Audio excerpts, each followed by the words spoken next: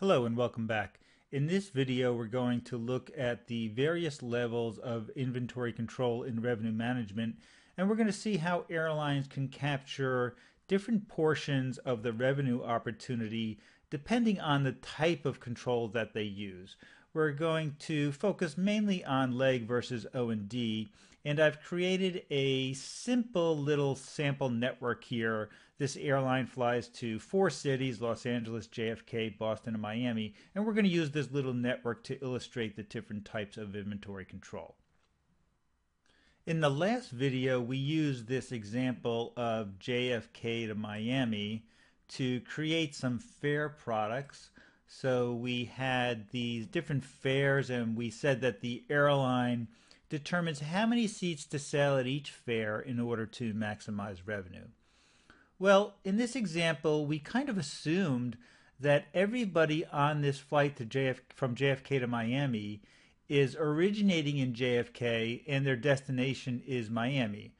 Well, that's really not uh, what you would find on an airline's flights. Let's go back to our network here. In an airline's network, they feed customers onto various legs from different origin points. So on the JFK to Miami leg, you would likely find some customers who were traveling nonstop from JFK to Miami, but you would also find customers who originated in Boston and are connecting in JFK to Miami, and customers who originated in Los Angeles and are connecting in JFK. So you would find a variety of itineraries on the JFK to uh, Miami leg and different fares associated with those itineraries. So I've taken the JFK Miami fares and just took the top three fares and pasted them down here on our network. So here are the three top fares from JFK to Miami. So that's the cost to travel nonstop on this leg the top three fares from Los Angeles to Miami I put over here. So the YB and M fare are different, of course. So it costs more in this case to travel from JFK to Miami than it does, excuse me, from Los Angeles to Miami than from JFK to Miami. And also, I created some fares from uh, Boston to Miami. So we have three different itineraries that could be on this JFK to Miami leg. And now let's see how the airline can discriminate between all of these different customers traveling on this leg in order to maximize revenue. So the way we're going to do this is we're going to say there's one seat left to be sold on JFK to Miami, one seat. Okay, and we're going to try to decide who gets that seat. Let's also assume that there's demand for every one of these fare products. So there's demand for JFK, excuse me, Los Angeles to Miami at 600, 500, 400 dollars. There's demand for each one of these fares for Boston, Miami. There's uh, demand for JFK to Miami at each one of these fares. So there's demand for nine different fare products, and we have only one seat left to be sold. And the job of revenue management is to choose the customer who's going to have the uh, largest revenue contribution to the network. So let's start by seeing what would happen if the airline was using a leg level revenue management system. The objective of a leg level system is to maximize revenue to the flight leg, so in this case, JFK to Miami. A leg level system does not consider the network contribution when it calculates its controls. So this system would see that there's sufficient demand at the highest fare to sell that one remaining seat at $500.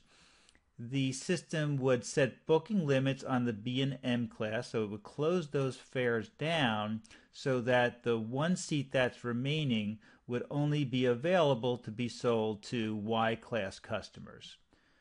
Well, once the system shuts down the B and M classes on the JFK to Miami leg, it's effectively closing down those classes for the other itineraries as well because the a customer who wanted to purchase the B fare from Los Angeles to Miami would need it to be available on both legs. So since the B and M classes are already shut down on JFK to Miami, they're effectively shut down uh, on all of the itineraries. So at this point, the leg level system has prevented the last seat from being sold to anything but a Y class customer. But there are three different Y class customers, and the question is which customer is going to get that seat?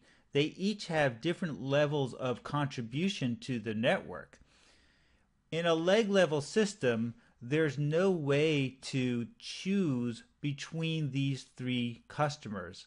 So at this point, it would be first come, first serve for the Y class. So if the Los Angeles customer arrives first, then that's the customer who would book that seat, and the, the network contribution would be $600. If it was a Boston customer, the network contribution would be 375, and a local customer from JFK to Miami, the revenue would be $500.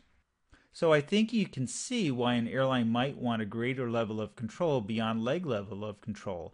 They may want to control their inventory at the itinerary level or at the O&D level, which stands for origin and destination.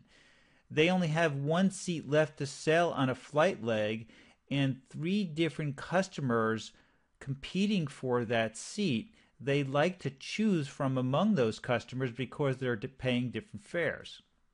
Now, the answer really isn't that obvious. The airline wouldn't necessarily just want to say, take the $600 customer and not these other two because this customer is taking two seats out of inventory, whereas this customer is only taking one seat out of inventory.